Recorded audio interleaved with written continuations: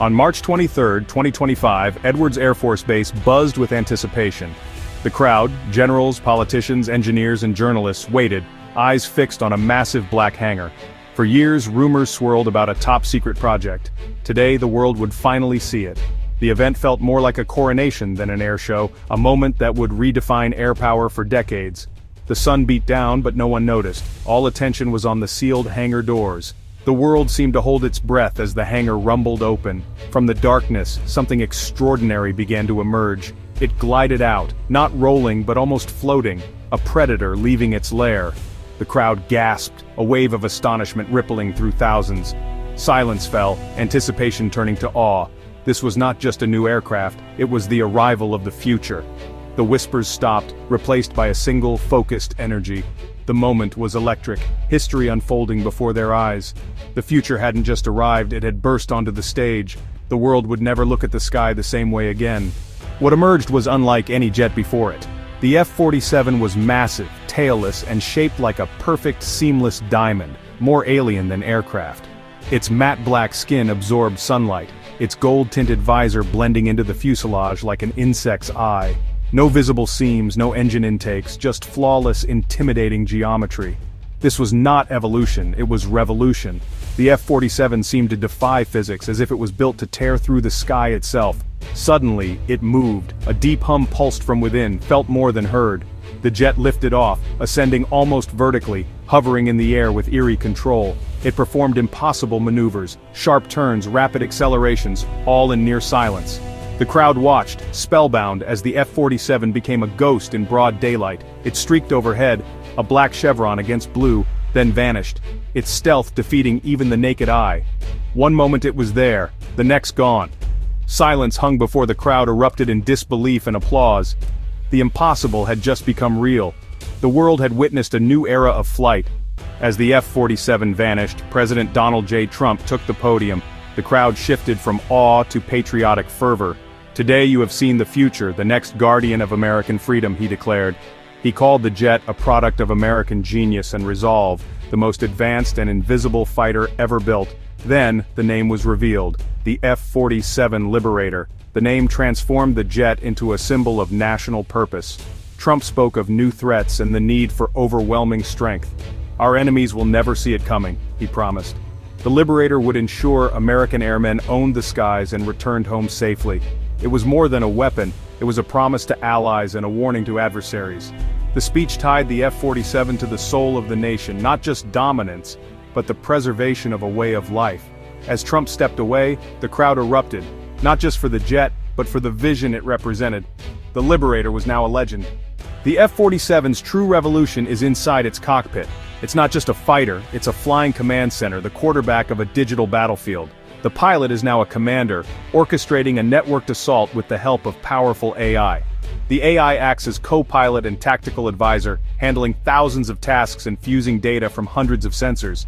This frees the pilot to focus on big-picture decisions that win battles. During the unveiling, two unmanned drones joined the F-47 in perfect formation. These collaborative combat aircraft, or CCAs, were directed by the pilot as extensions of his will. He could send them to scout, jam, or strike, all while staying safe. This manned-unmanned teaming multiplies the F-47's effectiveness exponentially. The Liberator shares its view of the battlefield with satellites, ships, and other aircraft in real time. Its extreme range lets it operate deep in contested territory, managing the war from 60,000 feet. The F-47 isn't just built to win a fight, it's built to command the entire war. It's the most strategically important military asset of the century. The F-47's unveiling followed a fierce corporate battle. Boeing and Lockheed Martin fought for the next-generation air dominance contract, a contest to define the future of air power. Lockheed offered evolution. Boeing gambled on revolution. Boeing's radical design prioritized extreme range, massive payload, and full-spectrum stealth. They argued the next war would be fought across the Pacific, demanding a new kind of fighter, Billions were poured into research, pushing the limits of materials, propulsion, and AI. The Pentagon encouraged the rivalry, knowing it would drive innovation. On March 21, 2025, just before the unveiling, the Pentagon chose Boeing's vision. The decision sent shockwaves through the industry. It signaled a demand for a leap, not an incremental step. Boeing's boldness matched America's strategic needs. Their victory reshaped the defense industry for a generation. The F-47 was proof that betting on the future pays off. The F-47 was born from a decade of secrecy. Funded through black budgets, its existence was myth until now. Engineers and pilots worked in isolation, protected by intense counterintelligence. This secrecy was strategic. China was racing to develop its own sixth-generation fighter. Every detail of the F-47 was a closely guarded national secret. The jet was designed for the Indo-Pacific, to overcome China's anti-access defenses. Its range allows it to strike deep and return safely, without relying on vulnerable refueling. Its stealth lets it penetrate the most advanced defenses undetected. To fund it, the Pentagon made hard choices, cutting other programs.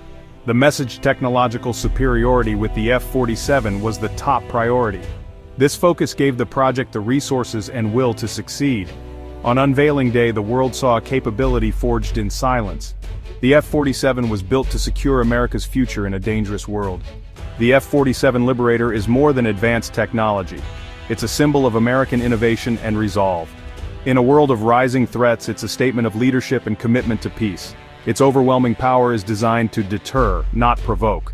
The goal make conflict unthinkable for any adversary. Its greatest victories may be the battles it never fights. The Liberator reassures allies and discourages aggression by its very presence. It's a promise to U.S. airmen, the best equipment, the best protection. Its AI and stealth are about safeguarding the human at its core. Technology serves the warrior, a shield as much as a sword. As the sun set, the F-47 had already changed the world's perception of power. It's a testament to what's possible when a nation unites behind a bold goal. The Liberator's highest purpose to secure peace by being the undisputed champion of the skies.